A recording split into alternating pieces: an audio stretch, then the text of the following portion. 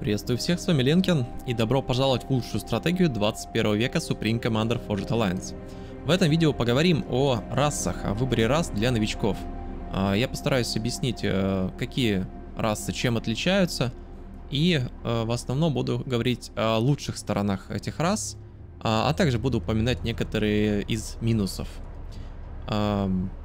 Здесь расы отличаются в Supreme Commander не так сильно, как в StarCraft, где там есть совершенно уникальные механики, абсолютно разные юниты и так далее, там способности.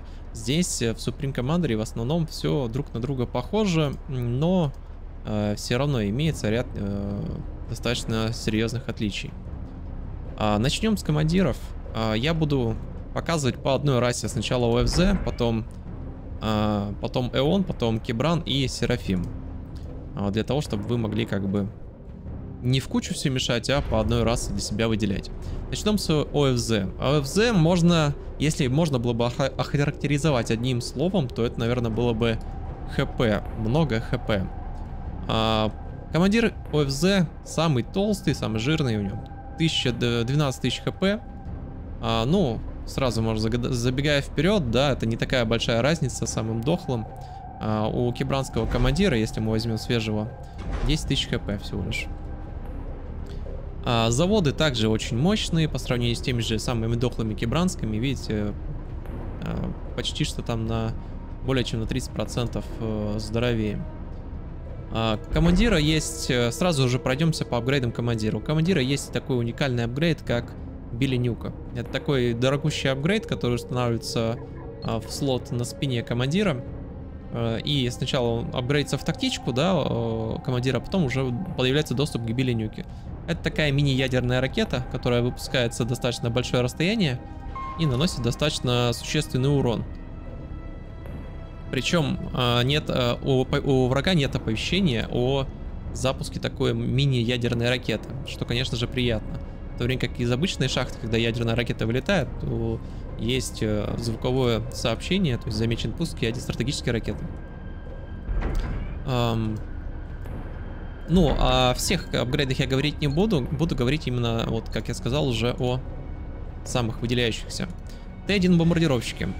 Э, Т1 бомбардировщики, к этому товарищам попозже вернемся, э, имеет самый большой э, разовый урон.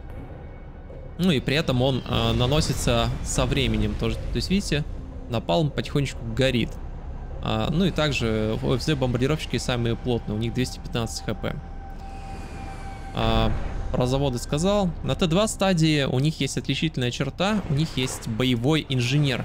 Такого нет ни у одной другой расы. А этот боевой инженер имеет больше количество ХП, у него больше скорость передвижения, у него больше build power а, чем у Т2 инженера в полтора раза. У Т2 инженера 12, у этого 17. А также у него есть пулемет, у него есть радар, также у него есть генератор, а, генератор помех. То есть если а, вражеский радар будет, ну, увидит, если в зону вражеского радара попадет Спарки, то вместо одной наземной точки он увидит сразу же, по-моему, 5. А, такая же фишка есть и у Т-3 штурмовика, и у Т-1 а, фрегата. Враги будут вы видеть вместо одной точки сразу же несколько. Вот, и также на Т-2 стате у них есть отличительная черта, это, это дроны. Инженерные дроны, они не такие выгодные по соотношению цена к билпауэру, как инженеры, но тем не менее их можно... Они достаточно быстро передвигаются, и у них достаточно такой внушительный build power. Плюс их можно проапгрейдить, и вместо одного дрончика на инженерную станцию будет, станцию будет сразу же два дрончика. Вот. Э, похожая тема есть у Кибран, но к ним мы вернемся позже. Вот, причем вот дроны, кстати, могут летать на неограниченную дистанцию. Далее, Т3 стадия, как я сказал про штурмовика, у него есть э, генератор помех, он тратит 25 энергии в секунду, ну и может на себя иногда э, на эти ложные цели вызывать огонь, что, конечно же, приятно, потому что ПВО-юниты обычно обладают очень мощным ДПСом. А, Т3 штурмовик ОФЗ самый сильный по ДПСу, ну и получается по соотношению цена-качество.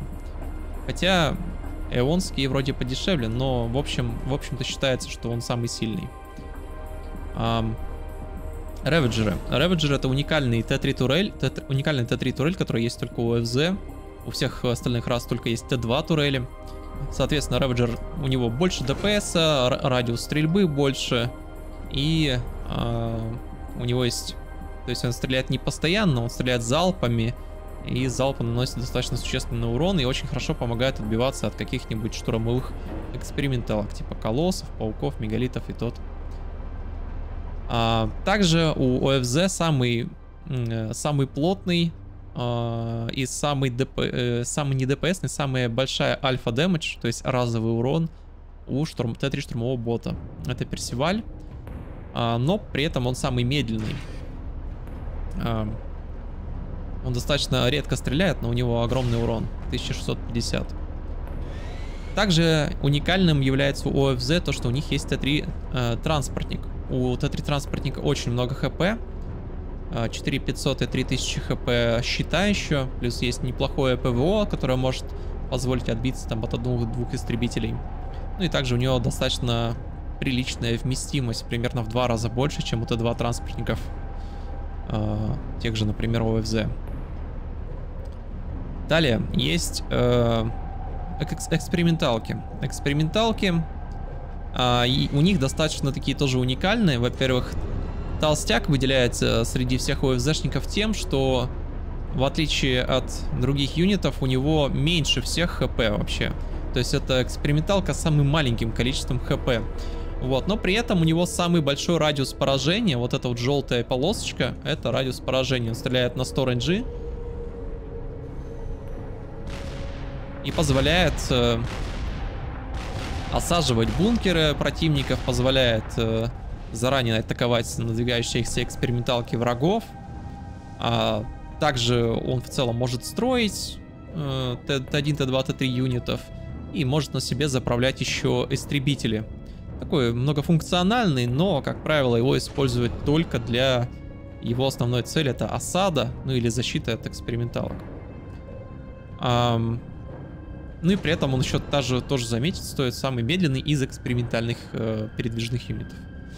Новакс это тоже единственный в своем роде спутниковое оружие, а он находится в недосягаемости для воздушных юнитов. А у него не очень большой ДПС, но при этом он фактически неуязвим. То есть а, при этом он еще дает неплохой радиус а, радара. Вот видите, голубенькая полосочка вокруг. Все, что будет в этом радиусе, будет э, помечено какими-то там наземными воздушными целями. И также у нее есть Omni-сенсор, который позволяет определять даже юнитов, которые скрываются, э, которых есть оптическая и э, радарная невидимость, то есть стелс. Э, очень хорошая штука, э, я его называю таким скальпелем, да, то есть у него не высокий урон, но при этом, допустим, какие-то открывшиеся постройки он может хорошенько вырезать, но и в целом, если он будет долго стрелять по какой-то эксперименталке, то он может ее безнаказанно убить. Например, того же паука. А, у него 250 урона в секунду примерно. Вот. Есть также очень популярная эксперименталка, это Мавр, самая мощная артиллерия в игре. Стреляет дальше всех, но, как правило, это, этого особо незаметно, потому что в основном играются карты в Супримке, которые, э, ну, в общем, не приходится использовать такую характеристику, как дальнобойность. Все, обычно все эксперименталки, э, такие артиллерии, артиллерии, экспериментальные артиллерии стреляют на, по, через всю карту. Эм, но у него очень хороший разовый урон, 16 тысяч, это самый большой разовый урон э, от снаряда в игре. Очень хорошая точность, самая высокая. Вот, поэтому э, именно ради Мавра часто просят э, технологии OFZ, то есть можно передавать юнитов в игре, поэтому часто просят, допустим, Т3 инженера OFZ, чтобы он, э, чтобы построить своего Мавра. Про флот немножко поговорим. У OFZ считается самый сильный Т3 флот. А, у них есть боевые линейные крейсеры, естественно, боевые. У них самый высокий ДПС за стоимость э, Среди Т3 юнитов у них 750 ДПС, при том, что они стоят 7000. И у них есть самый дальнобойный и самый, конечно же, э, живучий линкор. Ладно, не живучий, у него больше всего хп. Ладно, будем так и называть, самый жирный, 51 тысяча хп. У него тоже очень хороший разовый урон, а, но очень большая перезарядка. И также есть, э, ну, конечно, на Т2 стадии у них есть отличительная черта. Единственные морские э, щитовые лодки. В отличие от каких-то, ну, наземных э, передвижных щитов, как, как у Серафим, да, вот эти, которые тоже в целом могут передвигаться по воде за счет того, что они парят. Они ховерные. У этих щитов просто гигантский радиус э, покрытия щитом. Также у них есть э, такая эксперименталка, которую не очень часто используют. Это Атлантис, Атлантида на по-русски. Это подводная лодка. Э, много хп, она является, кстати, самой дешевой подводной лодкой, эксперименталкой точнее. Э, тоже может строить, как и толстяк, но уже воздушных юнитов, а не наземных. Также может перевозить себе э, истребители, ну, перевозить себе любые воздушные юниты, кроме транспортников. Также, также, также у нее есть хорошее ПВО, есть хороший радар, но в целом это больше юнит поддержки. Потанковать, э, дать вижен, а, возможно вычинить истребители, да, то есть э, именно в плане починки можно использовать. Ну и также она может нырять под воду. Ну и э, чаще, наверное, используется как какая-то такая жирная подводная лодка, которая танкует и сама наносит урон вражеским кораблям. А, ну, на этом все в целом про ОФЗ. А, ну забыл, конечно, про Сакушку. Э, Сакушки, конечно, у них есть а, как и у всех раз, боевые апгрейды, то есть там, которые добавляют урон, добавляют дальность стрельбы, скорострельность, э, добавляют ей щит персональный. Но вот именно на базе часто сакушку используют как э, дополнительная защита. Как видите, у этой сакушки 52 тысячи хп на щите. Купол сам по себе не очень большой, но часто его используют именно для прикрытия каких-то важных, дорогостоящих экспериментальных юнитов, типа Мавра, которого вам бы очень не хотелось потерять. Ну, если сравнить, допустим, самым мощным щитом серафимским, у серафимского щита 21 тысяча хп, в то время как у Сакушки ОФЗ 52 тысячи хп. Вот. Далее. А, есть раса Эон. Чем отличается Эон? Одним словом, если, то это будет, наверное, урон. Эон урон. Как-то так. Командир, э, чем отличается? У него есть сразу же два апгрейда на, ну, таких дешевых апгрейдов, апгрейдов на пушку. Одна увеличивает скорострельность, а вторая увеличивает дальность стрельбы. И причем э, скорострельность, как и у всех, увеличивается в два раза. Ну, если не считать ОФЗ, у него апгрейд, можно сказать, как у всех, но у него просто урон увеличивается в два раза, а скорострельность остается той же. Вот, но у Эонса, у него самая большая отличительная э, черта, то, что он стреляет немного дальше, чем другие командиры с апгрейженным именно стволом. Вот, можно сравнить. А, вот красная линия обозначается, ну, вот самой дальней красной линии обозначается дальность поражения ОФЗ, и желтой Серафим э, Эонса. Как видите, раз, есть небольшая разница, буквально в 5 ренджи, но это часто позволяет хорошенько кайтить оппонента, не давая стрелять по себе, вы можете безнаказанно расстреливать его. Перейдем к Т1 юнитам, они достаточно особенные у Эон.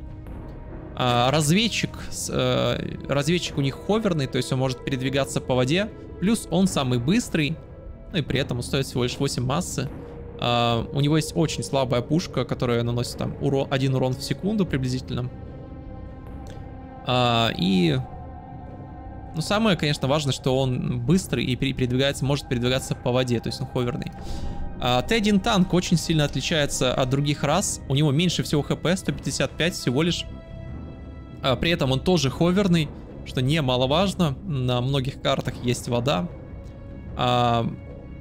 При этом у него самый высокий рейндж среди Т1 танков, который достаточно сильно отличается от других танков. А, и при этом этот рейндж еще больше, чем у командира без апгрейда на ган. И это позволяет Авроркам а, тоже кайтить командиров без апгрейдов в начале. Позволяет рейдить через воду. И, но они очень уязвимы, допустим, к бомбардировщикам, потому что они умирают буквально с одного выстрела. И также у них есть э, Т1 артиллерия, как и у всех других рас. Эта артиллерия отличается тем, что у нее самый высокий показатель урона за стоимость вообще в игре. То есть это самый ДПСный за свою стоимость юнит.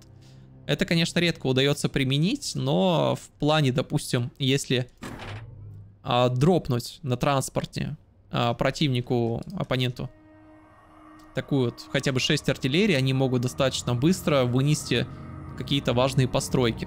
У них 100 ДПС за их крохотную стоимость 36 массы. Но при этом а, у них э, очень маленькая э, э, радиус сплэша. Самый маленький радиус сплэша. Дальше, Т2 юниты. Т2 юниты тоже уникальны у них тем, что они, а, у них много ховерных юнитов, которые могут, опять же, передвигаться по воде. Это флаг, который стреляет сплэшем, как и у других рас. Это мобильный щит, тоже он небольшой, как и все щиты Эон. Он небольшой, у них самые маленькие щиты, но достаточно плотный. Плотнее, чем у ФЗ. Ну и э, пламя, блейзы. А, такие неплохие танки, их уже несколько раз апали, поэтому их достаточно прикольно использовать на каких-то водных картах для рейдов, ну даже для пушей в лоб. Также у них на Т2 стадии есть уникальная ТМДшка. ТМДшка это такая постройка, которая защищает вас от тактических ракет. Например, э, ну вот если взять того же командира ОФЗ, который я показывал, у него есть такая мини-ядерная ракета. И обычная тактическая ракета, это все является тактическими ракетами, да, просто Беленюка, она, ну, сильно взрывается больно. Вот. Также э, тактическими ракетами считаются, ну, ракеты, выпущенные из шахт. Да и в целом все ракеты, о чем я говорю, все ракеты, кроме ядерных. То есть даже ракеты, выпущенные из э, Т-2 мобильных ракетниц, тоже будут блокироваться ПРОшкой. Немножко вас запутал, получается. Чем она особенная? Она выпускает тепловую ловушку. В отличие от других ракет, которые пытаются расстрелять ракету, она выпускает тепловую ловушку. И а, причем на эту тепловую ловушку могут среагировать сразу же несколько ракет. В этом есть главное отличие. К примеру, если 10 ракет полетят одновременно, ну, в радиусе поражения этой ТМДшки, ПРОшки, то она перехватит их все сразу. В то время как э, в единственном экземпляре, допустим, Кибранская, перехватит там одну или две. Но при этом у нее небольшой радиус поражения, у других рас радиус поражения немного больше. А при этом у нее, ну, хп поменьше, но это такой же тоже нюанс. А, и та же самая Беленюка, да, вот у командира, что тоже стоит важно помнить, многие об этом не знают. Беленюка требует в себя 4 попадания э, противоракетной обороны. В то время как, опять же, Эонская всего лишь выпускает один шарик, тепловую ловушку, которая его сразу же перехватывает. И у них есть на Т2 стадии управляемая ракета, ракета Камикадзе, она же Мерси. Она носит гигантский урон, и буквально 5 Мерсей э, на ранней стадии игры могут уничтожить командира. Но при этом у них всего лишь 10 хп, они ну, то есть умирают от абсолютно любого выстрела. Вот, у них, они не могут никак заправляться. Э, у них, то есть, кончается хп, э, топливо, в отличие от каких-то других ну, допустим, если этого бомбера пошевелись, у него начинает скончаться топливо. Но как только он сядет, у него топливо начнет восстанавливаться. А вот у Мерсей такого нет. А, то есть, ну, в целом она может, вот, допустим, 20-километровую карту перелететь, и на этом топливо у него закончится. Ну и после... Ой, слишком быстро ускорил. После того, как она, точнее, залетает в цель, она сама уничтожается, превращается в снаряды. И самонаводкой попадает в цель. Как-то так. На Т3 стадии у них есть из уникального такая э, разведывательная постройка глаз Рианы. Он позволяет за существенную достаточно энергию в секунду, 5000 в секунду, она позволяет увидеть какой-то кусочек местности. Происходит это вот таким образом.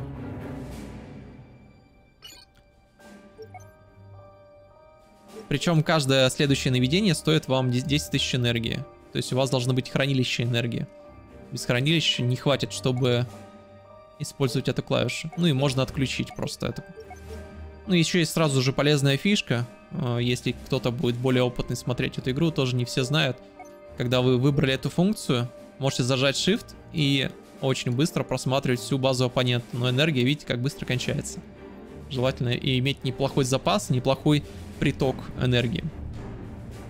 Сама постройка достаточно дохлая, 250 хп всего лишь от любого осколочка она сдохнет. При этом стоит очень дорого. 3000 э, массы. А, из наземных юнитов у них есть такой сразу же уникальный юнит, как Дизраптор, Освободитель.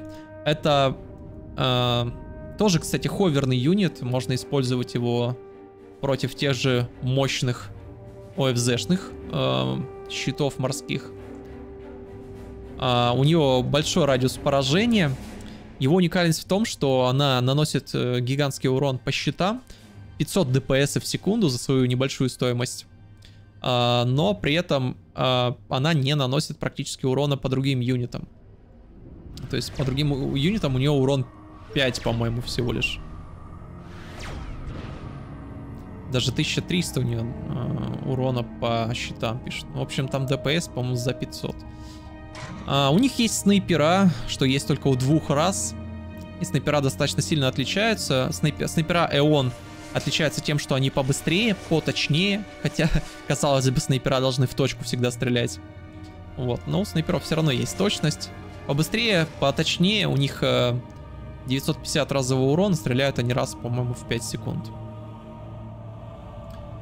А, и мобильная Т-3 артиллерия у них тоже особенная, она может стрелять на ходу, в отличие от других рас. А, плюс э, урон наносится по типу горения, то есть как вот мы видели у УФЗшного бомбера, он кидает бомбы и какое-то время наносится урон в секунду. Таким же образом наносится урон от эонской артиллерии, только там зеленый снаряд. Т-3 воздух, у них есть э, из особенного, это Т-3 торпедный бомбардировщик, он очень быстрый, он очень плотный по сравнению с Т-2 бомбардировщиками, и у него гигантский разовый урон, 4000 урона. 4, э, 4 торпеды, каждая по 1000.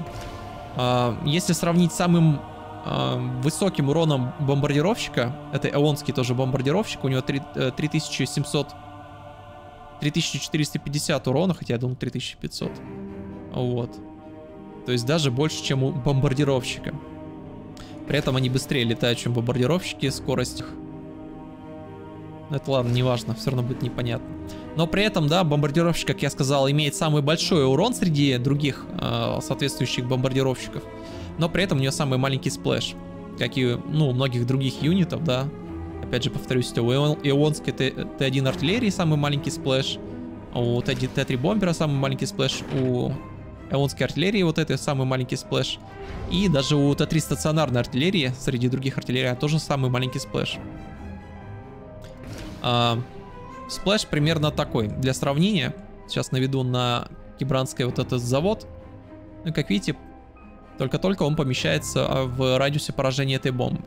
Если взять самый большой splash, например, допустим, у Кибран, то разница становится слишком очевидной, и Поэтому ради splash а используют именно Кибран. Но пока что про Эон. У них есть также единственный в игре ПВО Штурмовик. ПВО Штурмовик, э, у него неплохой урон. У него хп столько же, сколько и у ФЗ штурмовиков, то есть 6000. Стоит он, правда, подешевле, и у него неплохой урон по истребителям. Правда, за свою стоимость, то есть соотношение цена к э, цена к качеству ПВО юнитов у истребителей все равно лучше. Но при этом это такой юнит универсальный, можно сказать. Он может и по земле полупить, и по воздуху пострелять. Эонская Т-3 артиллерия. Самый маленький splash, но самая высокая точность и самый высокий разовый урон. А, разовый урон у нее высокий 12 тысяч, при этом она стреляет в два раза реже. Если взять, допустим, ОФЗшную Т-3 артиллерию, то у нее разовый урон всего лишь 5000, то есть в три раза меньше или 5500, но при этом она стреляет в два раза чаще. То есть ионская артиллерия в этом плане очень хороша. Но, скажем так, не идеально из-за своей редкой такой скорострельности. А, экспериментальные юниты. Ну, первый это, конечно же, Колосс. Это штурмовой экспериментальный бот. Особенность... Э, тут, пожалуй, я расскажу не то, что это там что-то лучшее, а просто упомяну все эксперименталки э, всех раз. Я вот так вот решил. Колосс э, хороший урон э, с, с основной пушки. Это вот из глаза у него стреляет такой луч. Э, при этом он не может стрелять назад. То есть он не может голову повернуть там больше, чем на больше, чем на 90 градусов влево или вправо. А, и плюс вот эти вот кошачьи лапки, а, они могут притягивать Т3 юнитов. То есть таким образом добавляя себе достаточно неплохой ДПС по Т3 юнитам. Ну, я имею в виду Т3, потому что именно Т3 имеет больше всего ХП, а колоссу без разницы, что притягивать, он как бы уничтожает Т3 юнитов с первого притягивания, скажем, с первого попадания. Эм, что можно сказать, у него достаточно много ХП, но урон ДПС не самый высокий. Salvation. Salvation, ладно, сначала про царя. Воздушная эксперименталка. А, с недавних пор тоже достаточно неплохо ее апнули. Суммарный ДПС у нее самый высокий. А, минусы то, что она из воздушных эксперименталок самая медленная. А, но при этом, как я уже сказал, ДПС, то есть урон в секунду у нее очень высокий. Плюс она неплохо отбивается, лучше, чем другие эксперименталки, отбивается от истребителей. То есть у нее хорошее ПВО. Также она может строить э, воздушные юниты в себе, так же, как и Атлантис ОФЗ. Т1, Т2 и Т3. Э, может в себе хранить юниты и при этом еще и чинить. Видите, слева здесь вот написано аэродром, то есть может чинить юнитов радар есть. Вот, такой достаточно универсальный тоже юнит, при этом э, у него самый высокий урон от падения. То есть, когда он упадет, после того, как его сбили, он еще нанес, нанесет гигантский урон по гигантской площади. То есть, площадь поражения у царя при падении тоже очень высокая. Поэтому можно иногда его использовать как такой Т4 Мерси, да. Но обычно Т4 Мерси говорят про вот этот бомбардировщик, экспериментальный Серафим, к нему потом попозже. Ну и э, есть такие два э, здания экспериментальных. Первое это Парагон. Парагон дает вам бесконечное количество ресурсов, но если быть точнее 10 тысяч материй в секунду максимум. Обычно этого хватает, чтобы реализовать все свои грязные планы и построить все что угодно на 10 тысяч материй в секунду. Сам Парагон стоит 250 тысяч материй в секунду. Но обычно, когда у вас появляется такая штука, вам, как правило, не хватает build power а, то есть строительной мощи. А, ну, она еще дает... Ну, по энергии можно сказать, что он дает бесконечное количество энергии, потому что такого предела в миллион энергии в секунду обычно не удается достичь. Как правило, упирается все именно в массу. И есть Salvation, это достаточно дорогая Т3 артиллерия, э, самая скорострельная артиллерия в игре, ее скорострельность э, один выстрел в 3 секунды, если обстраивать ее генераторами дополнительно, то скорострельность увеличивается до, по-моему, полтора, точнее, один выстрел в полторы секунды, это достаточно быстро. Но сама по себе по эффективности, да, то есть она не такая уж и крутая, наверное, по эффективности худшая из э, артиллерии э, соотношении цена-качество. Потому что ее снаряды как бы делятся многократно на микроснаряды, которые наносят сами, сами по себе э, не такой высокий урон по небольшому splash у. Поэтому даже в подсказках при загрузке карты пишется, никогда не стройте Salvation до того, как у вас не появится Парагон. Salvation хорош только в том, что э, его можно быстро построить, если у вас много массы. То есть он требует мало build power а. Небольшое количество инженеров может даже достаточно быстро построить вот такую дорогостоящую штуку. Поэтому именно и всегда стройте Salivation только после того, как у вас появился Парагон. Ни в коем случае не по-другому. В ином случае лучше, ну, допустим, если у вас много массы, и вы хотите построить артиллерию, стройте Мавр. Ну, либо какие-нибудь Т3 артиллерии. А, про флот Эон. У них самый худший фрегат пока, пока что в игре, пока что не проводилось баланса. Uh, у них... Uh, они очень дорогие, 290, если сравнивать, допустим, с фрегатами Cybran, которые стоят 250 массы в, сек... массы в секунду, просто массы. Этот стоит 290, при том у него, у него второе с конца количество хп, uh, и у него нет никакого ПВО. Микроплюсы, что у него есть э, слабенькая защита от торпед, и небольшое, небольшое преимущество по range у. Если сравнивать, допустим, с кибранским фрегатом, ну, ради, радиус незначительно больше. Uh, у них зато есть Т2 самый лучший флот, это эонские дестройеры, именно из-за них uh, флот Эон Т2 стадии считается лучшим. Uh, благодаря, в основном благодаря, я, кажется, забыл про Т2 стадию, нет, не забыл. В основном благодаря своим уникальным торпедам. А именно у них вообще два вооружения, это, ну, подводного, торпеды и э, глубинные бомбы. Глубинные бомбы имеются, имеются только у Эон, э, в частности, они имеются именно у Т2 от этого дестроера, они имеются у Т3 экспериментального этого. Линкор прототип, он же Темпест, осадный, осадная такая, можно сказать, я не знаю, что это бублик такой осадный.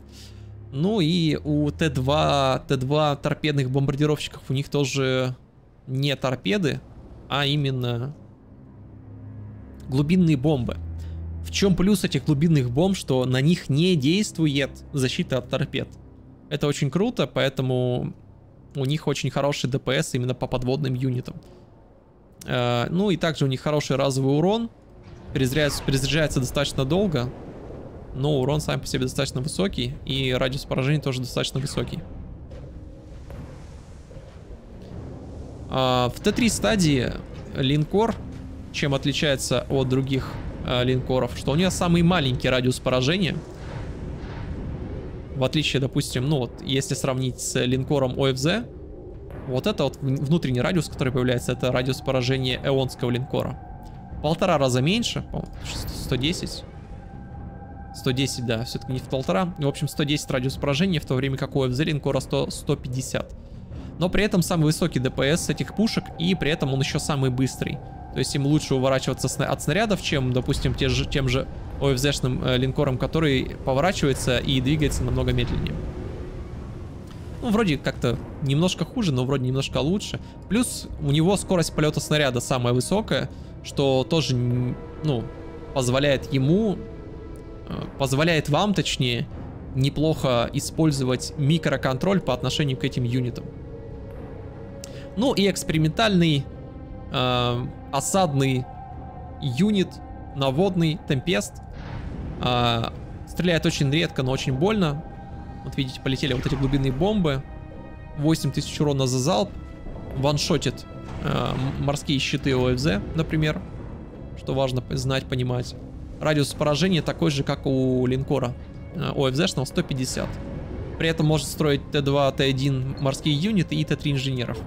Ну и из приятных бонусов он может погружаться под воду, когда у вас, допустим, вас начинают внезапно окружать какие-нибудь Т1 кораблики, например, фрегаты, которые очень эффективные за свою стоимость, цену, качество, точнее. Он может без проблем спрятаться под воду и, и уплыть.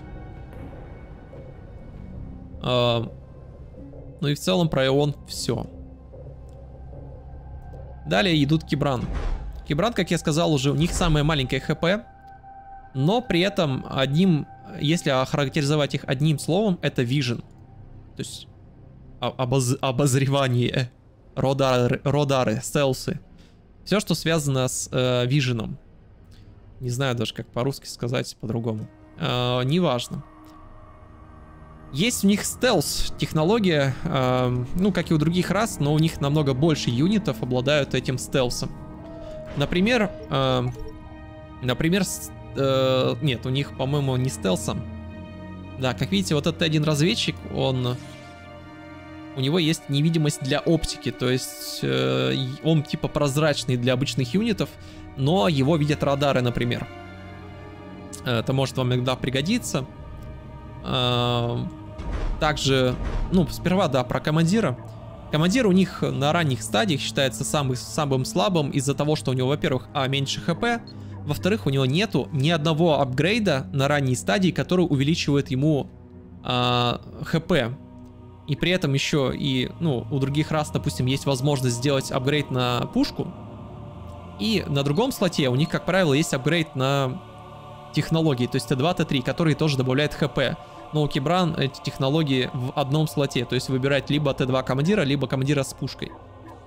Вот, но у них есть плюс в том, что можно вкачать достаточно дешевый стелс и э, тоже пытаться кайтить вражеских командиров, поскольку э, Так. Поскольку радиус поражения, видите, вот этот красный, он больше, чем радиус, э, радиус обзора, можно поймать такой момент, когда э, прямым виженом вас не видят, вашего командира со стелсом, э, прямым виженом не видят, э, но вы находитесь в радиусе поражения, но при этом по вам стрелять не будут, потому что, ну, радары вас не могут обнаружить. Но это микро плюс, конечно. А, зато кибранский командир а, обладает такими уникальными апгрейдами, как лазер на командире и торпедный аппарат на командире. А, торпедный аппарат часто используется на Т1, Т2 стадии, в каких-то морских картах позволяют достаточно в большом радиусе, вот по этому зеленому радиусу он позволяет достаточно быстро выносить Т1 и Т2 корабли, часто этот апгрейд используется в совокупности со стелс-апгрейдом, чтобы вас не видели под водой, и технологическим апгрейдом, чтобы у вас было больше хп, и вы могли отстраивать там какие-нибудь зенитки, еще что-то, чтобы вас под водой не заснайпили. Вот, и апгрейд от, на торпеды не зависит, дальности э, стрельбы торпедами не зависит от апгрейда на пушку, которая увеличивает радиус стрельбы.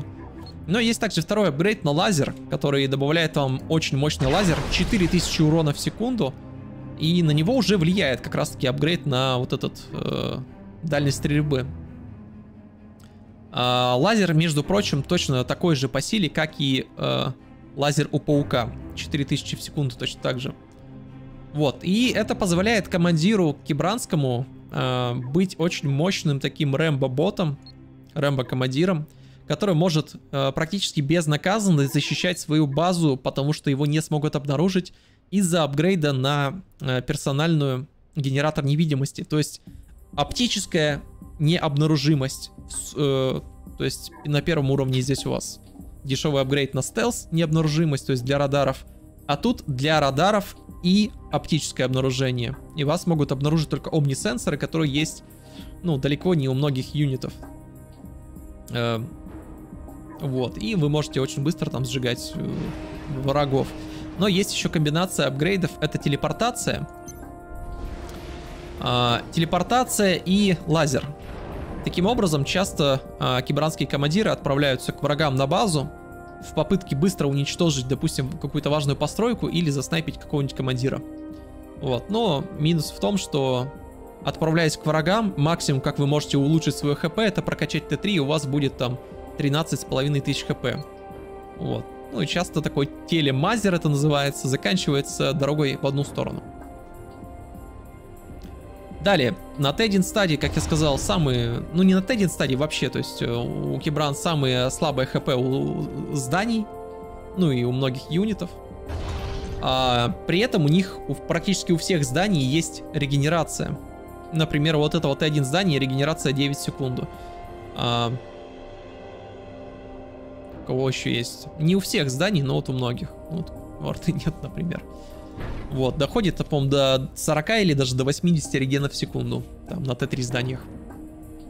Также у них есть приятная штука, э, ради которой часто просят кибранского Т2 или Т3 инженера, это хайвы.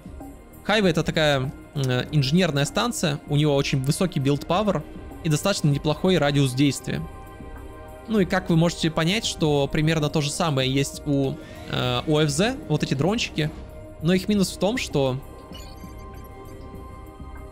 Их минус в том, что у них маленький радиус строительства по сравнению, видите, с радиусом желтым хайвов. А, но хайвы при этом не могут сами по себе передвигаться, как дроны. В отличие от, опять же, дронов, э, хайвы могут мгновенно менять ну, точку строительства, точку помощи. Допустим, с этого завода могут резко поменять на на какую-то постройку здесь, в то время как дрону придется летать от одной точки в другую. А поэтому хайвы еще стоят, ну, цена, качество, цена за build power у них ниже, чем у дронов, и поэтому чаще выбор делается именно в сторону хайвов, именно благодаря их вот такой резкой смене целей. Также у Кибран, э, что неудивительно, самая сильная стелс э, генератор маскировочного поля, то есть генератор стелс поля. А, самый сильный в плане, у него самый большой радиус действия. А, в этой площади могут поместиться очень много всяких зданий, юнитов. А, при этом он самый дешевый и потребляет меньше всего энергии, и при этом еще больше, быстрее всех строится. Очень классная штука, можно буквально там, штуки три таких щита построить и закрыть наверное, практически всю свою базу или даже базу своих союзников. Но при этом у Кибран нет абсолютно никаких мобильных щитов, в отличие от других рас, у которых есть там Т2 или Т3 мобильные щиты.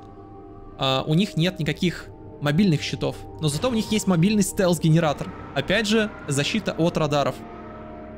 То есть можно незаметно подкрадываться к э, врагам с помощью вот таких стелс-штучек.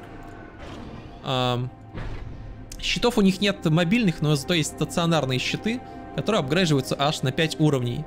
Но не стоит тут э, как бы путаться, все эти апгрейды щитов, они стоят достаточно дорого по сравнению с какими-нибудь, допустим, серафимскими щитами, да, которые стоят всего лишь 700 массы. Апгрейд этого щита в, в последнюю стадию будет стоить вам намного дороже.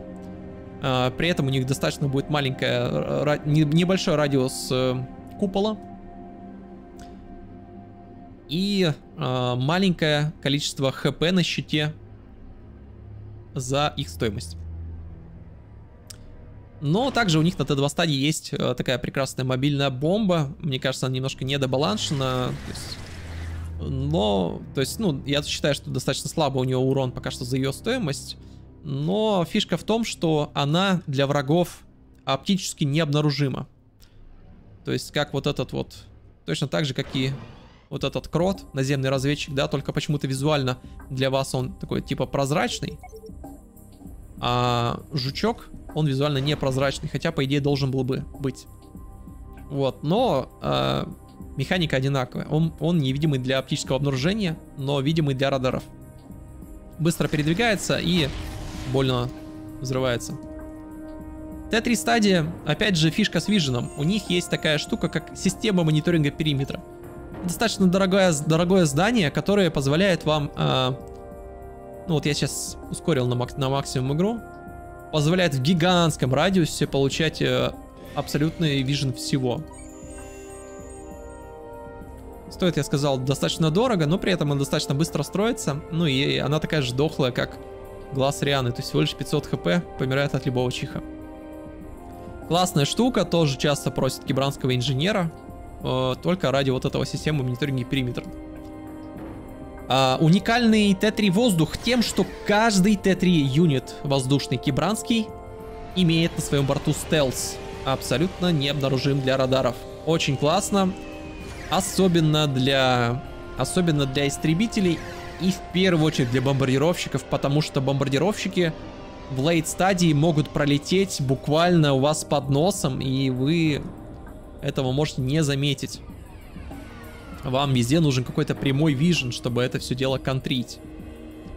Чтобы видеть эти бомбардировщики. Да, у них самый слабый урон, но не настолько слабый, чтобы их не использовать. Э, Все-таки намного важнее, что ваших бомбардировщиков попросту не обнаружат до момента залпа, например. Но зато гигантский splash, то есть в, э, в сумме стелс плюс гигантский splash этих бомбардировщиков делает их, наверное, одним из, одними из самых используемых и самых, наверное, крутых бомбардировщиков в игре. А, вот. И, ну, разведчики просто имеют стелс. Э, Т-3 штурмачи тоже достаточно плотные. Стоят как OFZ штурмовик, но ДПС у них поменьше. Но при этом они стелсовые, то есть тоже их не видно радаром. Истребители э, также стелс. А, и, а, что важно, в воздушных битвах эти истребители могут вылететь где-то из тумана войны сбоку. А в воздушных битвах очень важно, чтобы именно вы наносили первый выстрел. Вот, и могли грамотно занять позицию, зайти в хвост противнику. Это очень важно, и тогда ваши, ну, ваши воздушные баталии будут с легкостью выигрываться. Вот благодаря кибранским истребителям такие баталии можно очень грамотно выигрывать. Но для этого, конечно, нужна достаточно такая существенная практика.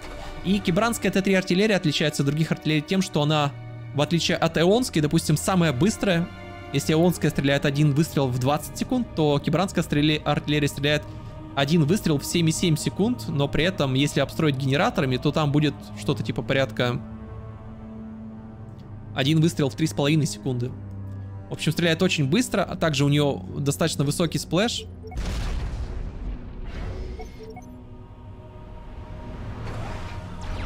Как видите, здесь перезарядка намного быстрее идет. Почему-то я... А, их не могу атаковать.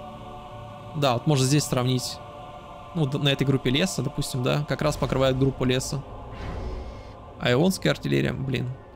Ну, в общем, да, видно, что ионская артиллерия поменьше splash. Можно я просто отодвину же. Да, буквально в два раза меньше, но по площади раза в четыре. А, и кибранская артиллерия, как правило, намного лучше себя показывает на каких-то небольших картах, потому что она самая косая арта в игре. То есть у нее большой очень раз, разлет снарядов, в то время как у Эонской достаточно хороший. Вот. И почему стоит использовать ее чаще на, на небольших картах, потому что, ну, на, на 10-километровых картах, то, допустим, вот на 20-километровой карте у нее радиус стрельбы э, может не доставать до каких-то частей, и на максимальной дальности стрельбы разлет слишком большой. А вот на 10-километровых картах разлет не такой большой, и кибранская арта будет очень часто попадать именно хотя бы по щитам, и тем самым наносить достаточно суще существенный урон именно э, по плотным застройкам противника. Вот. А также плюс скорострельности на таких дистанциях является в том, что э, у щитов есть такое свойство регениться. Uh, при этом реген включается не сразу. Uh, у большинства щитов реген включается через 3 секунды после нанесения урона. Вот. И uh, таким образом, чем чаще стреляет ваша артиллерия, тем меньше времени будет регениться этот щит. То есть по, по нему попали, реген прекратился на 3 секунды, и потом только начинает регениться. Вот. А ионская артиллерия, она будет попадать, да, будет больно бить по щиту, но намного дольше, при этом щиты будут регениться. Поэтому кибранская на маленьких картах, я думаю, это основной выбор Т3 артиллерии. Также у Кибран есть э, одна из самых популярных эксперименталок в игре, это Monkey Lord. Она из наземных э, эксперименталок самая дешевая. Э, при этом у нее есть хороший такой бонус, что у нее пушка, помните, в отличие от Колосса, который не может голову назад повернуть пушку, у него вращается во все стороны. При этом у лазера самый высокий ДПС по наземным целям. А, но радиус небольшой при этом. И также у паука есть такая особенность, у нее есть стелс-поле, которое по размерам, видимо, совпадает. А, да, вот видно вот здесь вот, вот эту оранжевую линию. По размерам она совпадает с радиусом огня этого манкилорда. Она может скрывать, это стелс-поле может скрывать себя от радаров и других наземных юнитов. Ну, то есть, грубо говоря, в этого паука засунули вот этого жулика. Только радиус стелса чуть побольше, чем у жулика. Вот. И... Манкилорда меньше всех хп. Хотя нет, толстяка поменьше еще хп, но из штурмовых у Манкилорда именно меньше всего хп. Но за счет его неожиданного появления где-то в, в каком-то тылу противника может достаточно быстро выжечь какого-нибудь командира. Также у них есть еще и вторая наземная эксперименталка, что нет у других рас, это мегалит. А, в отличие, это тоже как бы осадная а, такая эксперименталка, как и толстяк. Вот, но у нее не такой высокий радиус поражения, как у толстяка, но при этом... Э, при этом, при этом, при этом у него очень много хп. Это самая мощная по хп, эксперименталка наземная, 110 тысяч хп. А, при этом она может, кстати, строить также юнитов в виде такого откладывания яиц, так скажем. При этом ей нужно стоять на месте. Не очень частая фишка, но иногда ее все-таки используют, чтобы получить, допустим, какого-нибудь инженера на поле боя.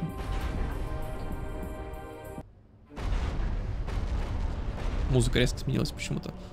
Но также у них есть и самая жирная воздушная эксперименталка, это Soul Reaper. Это такой экспериментальный штурмовик. А, при этом он самый дешевый экспериментальный юнит, ну и при этом самый плотный. Ну, достаточно классная штука. А, Скатис. Скатис это эксперименталь... экспериментальная артиллерия, строит дороже, чем Salvation. И имеет огромный радиус поражения. Но это не один снаряд сюда падает, это падает сразу же множество снарядов хаотичном порядке.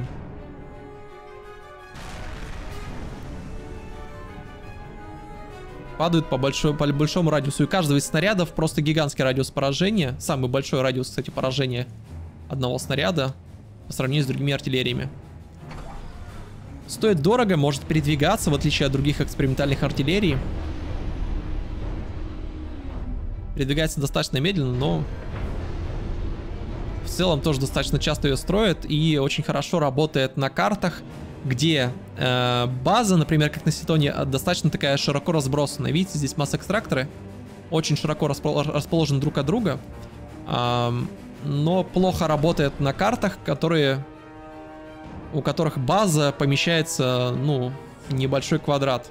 Допустим, как на Dual Gap или на Астрократере, там все масс-экстракторы, там 6 или 8 штук, расположены очень близко друг к другу. И все основные здания располагаются вокруг этих масс-экстракторов. И э, от скатиса очень просто защититься, если у вас просто будет там стоять 1-2 щита, которые вы просто не сможете пробить, которые, потому что их будут э, постоянно вычинивать, ассистить э, союзные инженеры каких-то их. Вот, поэтому скатис больше, лучше работает на каких-то более обширных картах. Далее, флот. Самый лучший Т1 флот именно у Кибран. Э, дешевый и в это же время самый ДПСный фрегат. Э, больше ничего сказать не могу. У него хороший ДПС даже по воздуху среди фрегатов. Вот. Очень-очень классная тема. То есть даже бывает, берут Т1 инженера а, только ради того, чтобы строить Т1 фрегатов кибранских.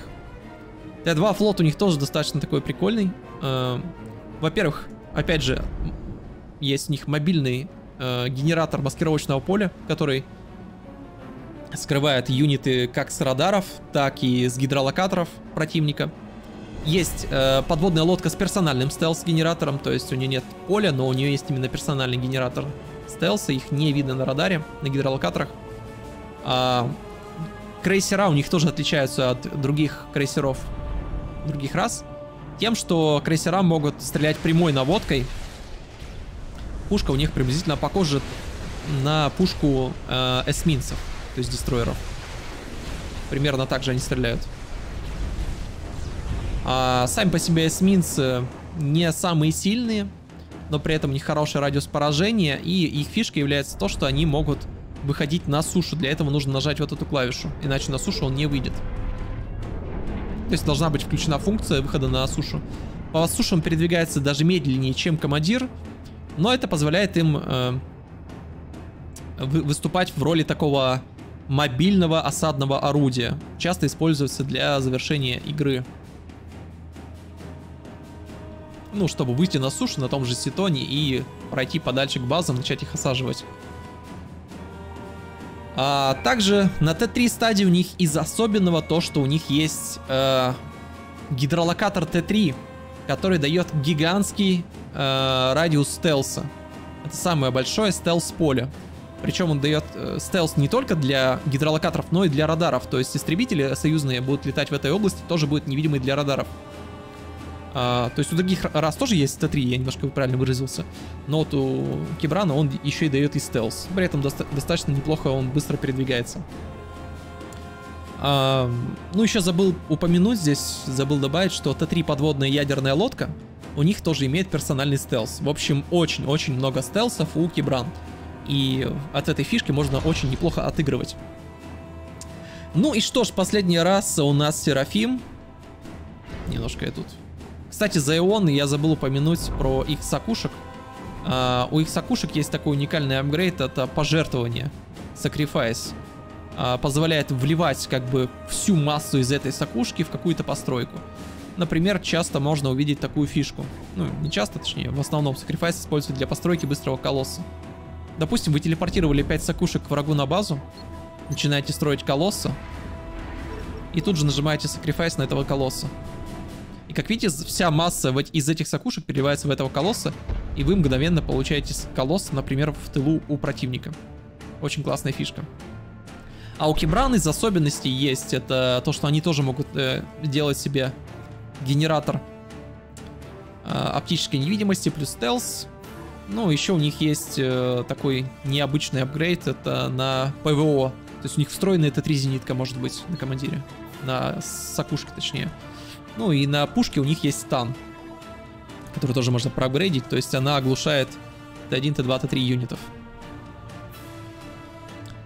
А, далее, далее. Серафим. Серафим Серафимский командир. Необычные апгрейды, какие у него есть. Во-первых, это очень мощный апгрейд на Nano Repair, Nano, Nano Repair, который дает ему очень огромное количество хп и не менее огромный реген, который позволяет ему, ну, становиться мега рэмбо командиром, втанковать в себя очень много урона и э, в, в, в, в сумме с апгрейдом на splash и увеличенный урон с главного орудия, который очень дорого стоит, и скорострельностью стрельбы, увеличение радиуса стрельбы, это его делает прям мега каким-то кибергом-убийцей. Идет, все выносит. Тоже может часто увидеть таких командиров. Могут поконкурировать э, с эксперименталками наравне даже с невидимыми кибранскими командирами с лазером. Э, также у них есть очень классный апгрейд, уникальный для их расы. Это э, реген аура, которая, во-первых, чинит вражеских, союзных юнитов, извиняюсь, э, в достаточно неплохом радиусе. И э, вторая функция это добавляет им 20% хп. То есть два есть уровня, ну обычно сразу же на второй прокачивают, потому что стоимость их не так э, не такая разная. Ну и допустим вот этой сакушки, вот у этой сакушки изначально было 0 регена, теперь у нее 155 регена в секунду. Э, очень классная штука для вычинивания, допустим, воздушных эксперименталок, потому что они могут дать залп, вот. И дать залп, их там покосали истребители, они вернулись на базу, покружили над вот этой реген аурой, вычинились и полетели обратно драться. То есть бесплатная такая вычинка. Хотя а, другая вычинка в игре, ну, допустим, обычный ремонт, да, вот эта вот клавиша, которая есть у многих юнитов э, с билдпауэром, она чинит за 75% от стоимости юнитов, считая, что это достаточно дорого. В том же StarCraft вроде бы 25%, всего лишь и вычинка выглядит намного более э, разумно.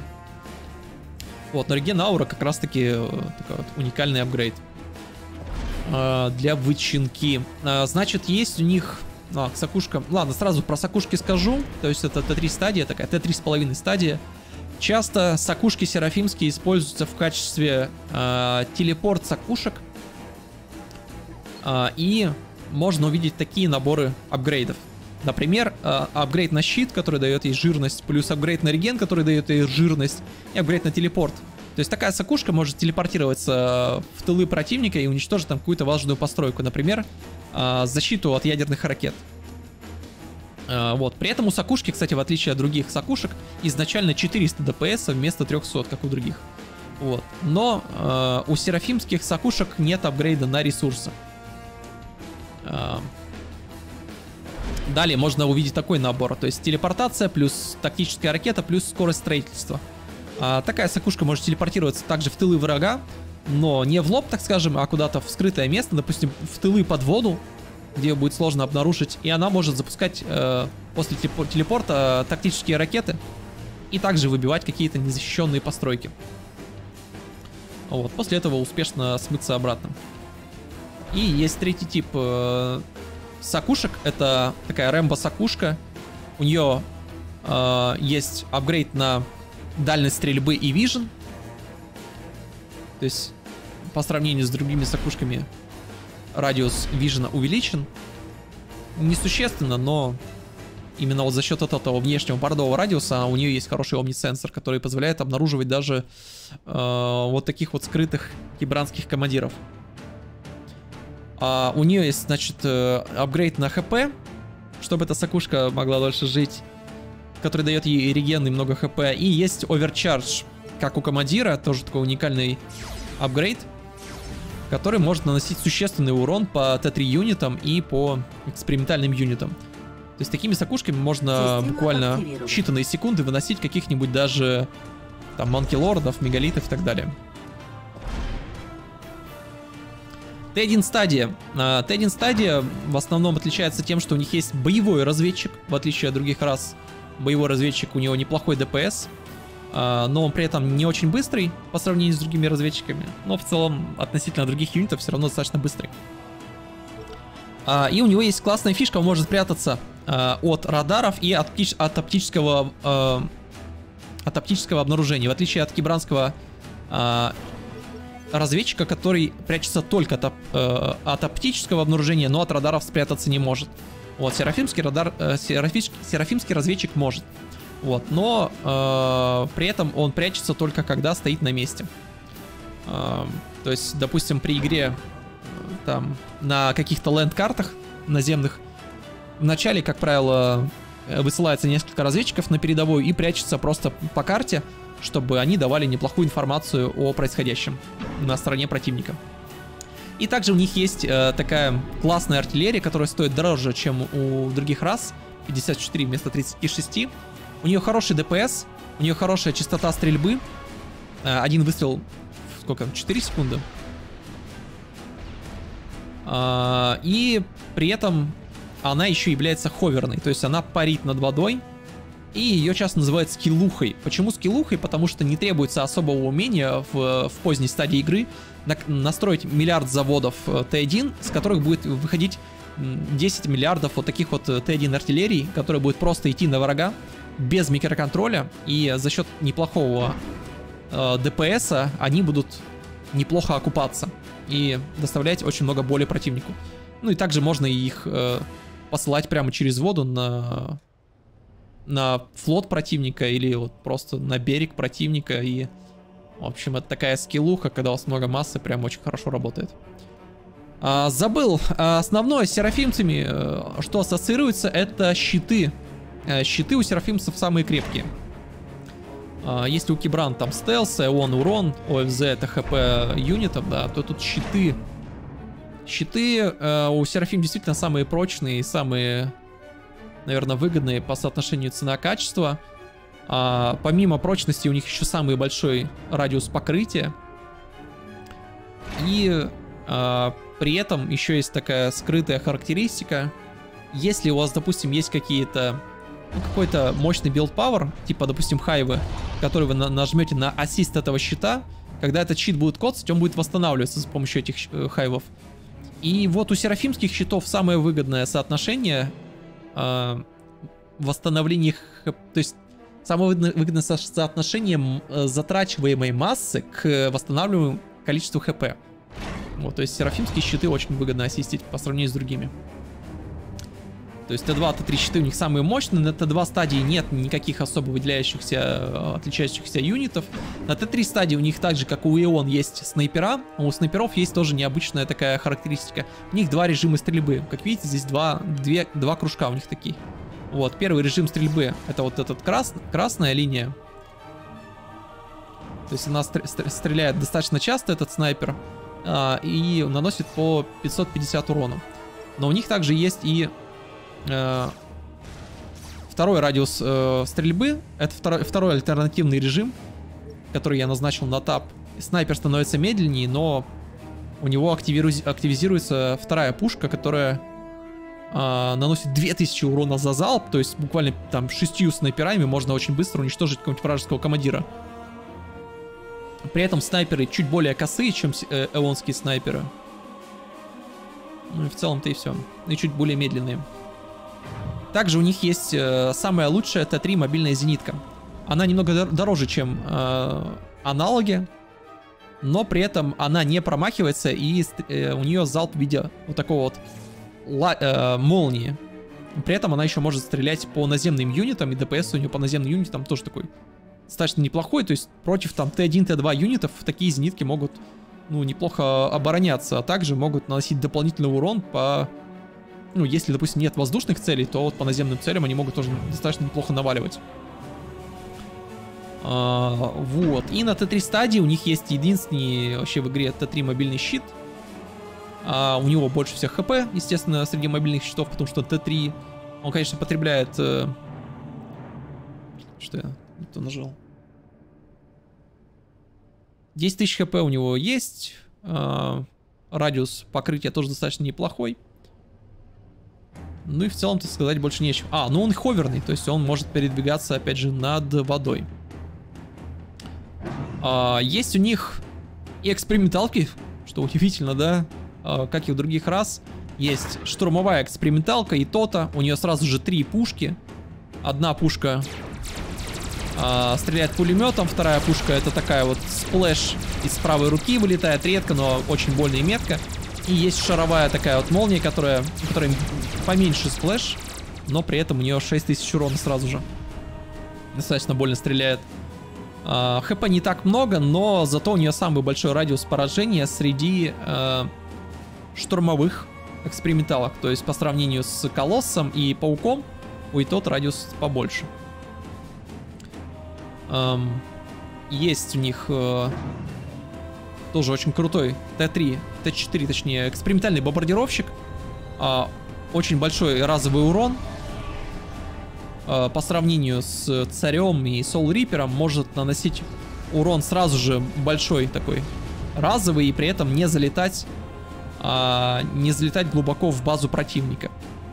То есть а жуку, допустим, чтобы наносить хороший урон, нужно прям висеть над базой и наносить урон. Ну и царю, естественно, также. То есть царю нужно прям непосредственно над целью висеть и, и прожигать. Но Ахваса при этом самое маленькое количество хп по сравнению с другими воздушными эксперименталками. А, и при этом она самая быстрая, то есть она летает прям как бомбардировщик реально. А, и плюс Ахвасу часто используется в такой комбинации, ну это тоже как бы такая фишка.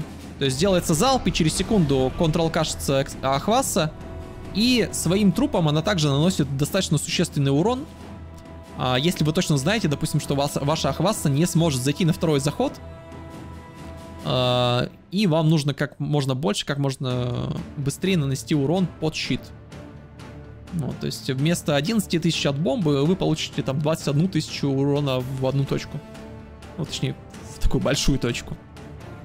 И есть Елона ОС. Это мощная экспериментальная ядерная установка, тоже такая единственная в своем роде. А, перезаряжается одну минуту. Огромный радиус поражения по сравнению с другими ядерными ракетами огромный урон, который не переживает ни одно здание, ни один юнит в игре. Там миллион урона. А, то есть высокая скорострельность, плюс ее можно еще ассистить хайвами, да, то есть 55 хайвов буквально ускоряет ее скорость стрельбы в два раза, что, конечно, делает ее мега смертоносным орудием убийства. Плюс на ракету, чтобы ее сбить, нужно сразу же две ракеты ПР, П, противо Короче, SMD, Strategic э, защита от стратегических ракет. Короче, сразу две ракеты такие нужны против нее. Вот, что делает защиту от Елоны Ос очень сложной, если ее заранее не обнаружили. И также можно сказать про эту эксперименталку, что она самая дорогая в игре по энергии. Она стоит 10 миллионов энергии. К примеру, Парагон, который дает бесконечные ресурсы, стоит всего лишь 7,5. А Мавр, к примеру, 6. Далее. Приближаемся уже к концу, осталось немного. На Т1 стадии флота у них ничего особенного, обычный фрегат. А Т2 флот у них тоже есть особенность. Можно было еще добавить сюда э, крейсер.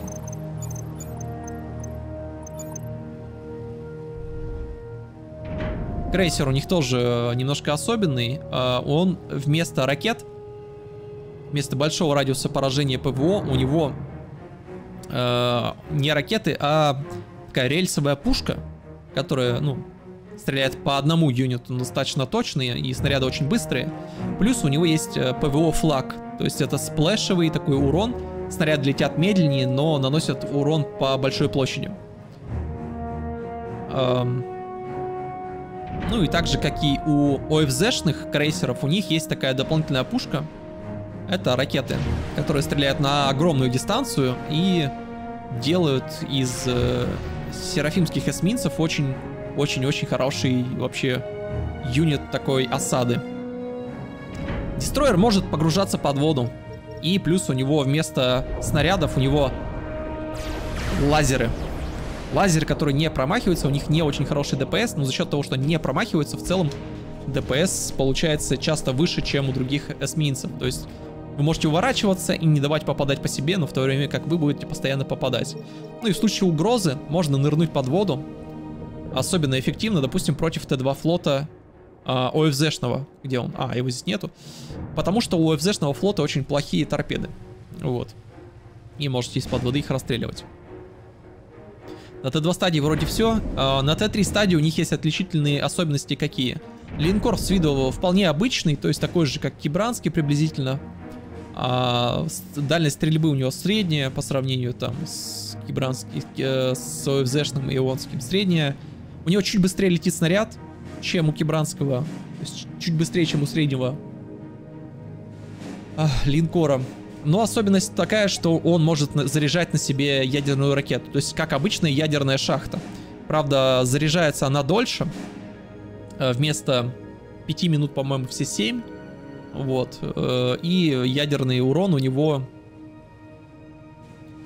вместо 75 30. Вот, то есть, опять же, может стать таким элементом завершения игры. Но при этом может заряжаться на ходу. Очень удобно. И есть Т-3 боевая подводная лодка.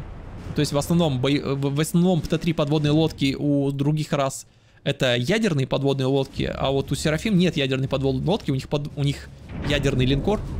У них есть такая вот боевая подводная лодка, э, очень популярная среди новичков, потому что подводные юниты в кавычках не контрятся, да, в, кавыч... в скобочках контрятся торпедными бомбардировщиками.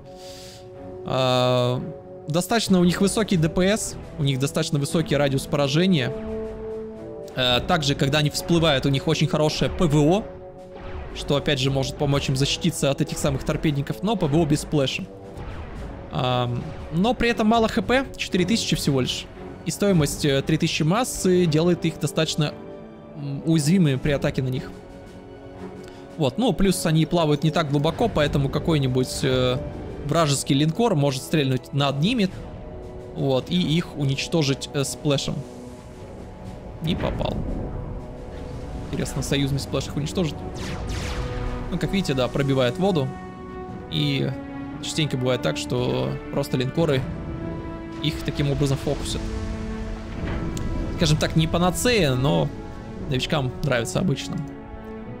И кажется, на этом все. На этой замечательной ноте, на этой значит, замечательной музыке Supreme Commander.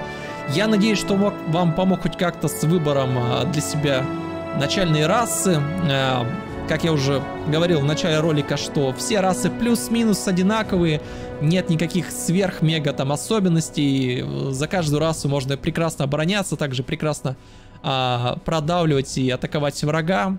И, конечно же, в Supreme Commander это часто именно командная игра, поэтому какие-то недостающие технологии вы можете просто попросить у союзника, а, выбрав юнита и нажав тут человечка рядом с никнеймом игрока, которому вы хотите его передать.